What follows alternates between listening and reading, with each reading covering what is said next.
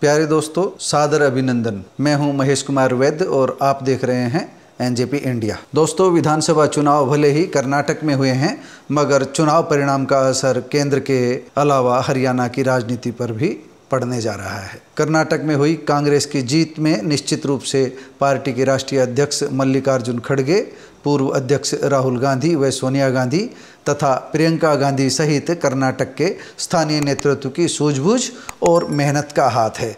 मगर कर्नाटक के प्रभारी और हरियाणा के वरिष्ठ नेता रणदीप सिंह सुरजेवाला इस चुनाव में एक बड़े रणनीतिकार बनकर उभरे हैं। सुरजेवाला के पास ही बतौर प्रभारी इस चुनाव की बागडोर थी।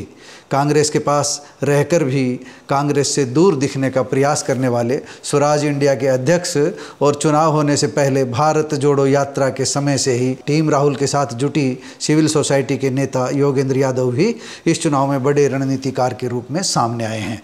यह कहना गलत नहीं होगा कि कर्नाटक की जीत से रणदीप सिंह सुरजेवाला का कांग्रेस की राजनीति में, कांग्रेस में जहाँ कद बढ़ा है, वहीं योगेंद्र यादव का राजनीति में रुतबा बढ़ा है।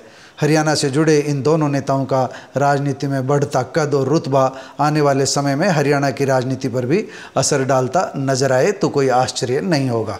दोस्तों, योगेंद्र यादव भारत जोड़ो यात्रा के माध्यम से राहुल के काफ़ी निकट पहुँच चुके हैं। हालाँकि उन्होंने अभी तक ऐसा कोई संकेत नहीं दिया है कि वह स्वराज इंडिया की बजाय कांग्रेस की राजनीति करेंगे, लेकिन उनका राहुल गांधी के प्रति झुकाव अब किसी से भी छुपा हुआ नहीं है। योगेंद्र यादव कई बार राहुल गांधी के संघर्ष की तारीफ़ कर चुके हैं। भारत जोड़ो यात्रा के समय तो उनकी रणनीति किसी छुपी हुई नहीं थी।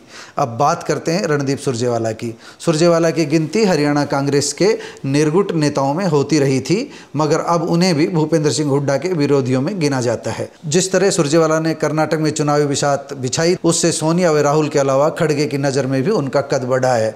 अभी तक यह माना जा रहा है कि हरियाणा में बहुमत मिलने की स्थिति में कांग्रेस की बागडोर एक बार फिर हुड्डा परिवार के पास जा सकती है, मगर एग्जिट पोल के बाद से ही कुछ लोग हरियाणा में सुरजेवाला का दखल बढ़ने की बात कहना शुरू कर चुके हैं।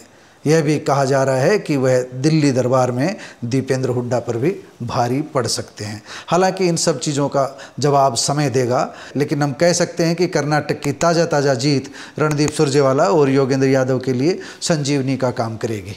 सुरजेवाला, जहाँ कैथल विधानसभा के उपचुनाव में बुरी हार का कड़वा घूंट पीने के बाद अंदर खाने हरियाणा के एक बड़े नेता से खपा हैं, वहीं योगेंद्र यादव को अभी चुनावी ज़मीन मज़बूत करने के लिए एक बड़ी ताकत के सहारे की ज़रूरत है। कर्नाटक का चुनाव परिणाम दोनों की उम्मीदों को पूरा कर सकता है। भाजपा ने इस चुनाव में बजरंग दल को सीधे बजरंग बली से जोड़कर पासा पलटने का अंतिम समय तक पूरा प्रयास किया। मगर कर्नाटक के भाजपा नेताओं का भ्रष्टाचार उजागर करना और कांग्रेस का स्थानीय मुद्दों पर डटे रहना भाजपा पर भारी पड़ गया। पंजा दल बजरंग बली पर बहस में उलझने की बजाय अगर अपनी रणनीति पर टिका रहा तो इसका थोड़ा सा श्रेय निश्चित रूप से सुरजेवाला और योगेंद्र यादव को भी जाएगा। धन्यवाद। आपसे एक विनम्र अपील। कृपया मेरे चैनल को लाइक और सब्सक्राइब करें।